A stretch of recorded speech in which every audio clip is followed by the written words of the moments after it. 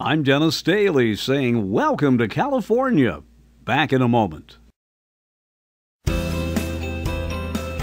nation's first transcontinental railroad started east from downtown Sacramento. Four merchants won the contract to build the road toward the east. It would require tunneling through the granite peaks of the Sierra. Another company was heading west. The Golden Spike was driven in 1869. I'm Dennis Daily.